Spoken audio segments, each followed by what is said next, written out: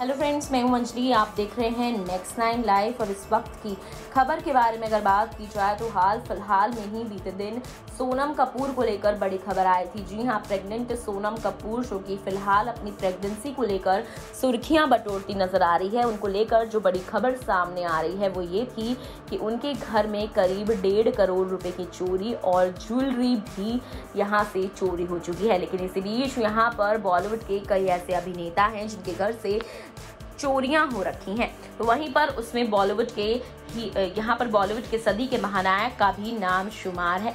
दरअसल बात करते चले अमिताभ बच्चन के घर से जो बड़ी खबर सामने आई, बॉलीवुड के दिग्गज अभिनेता अमिताभ बच्चन के बंगले में कितनी सुरक्षा रहती है, यह किसी से छुपी नहीं हुई।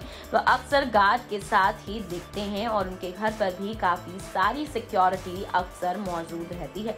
रिपोर्ट के अनुसार दीपक करावत नाम का एक साथ का उनके घर से आठ हज़ार रुपए चुराकर भागने की कोशिश की थी, लेकिन बच्चन खानदान की सिक्योरिटी ने उसे पकड़ लिया था। और यहीं पर बच्चन परिवार के घर से यही बड़ी खबर सामने आई कि उनके किसी करीबी ने ही उनके घर से यहाँ पर चोरी करने की कोशिश की। इतना ही नहीं, बल्कि कैटरीना कैफ का भी नाम इस लिस्ट में शुमार है।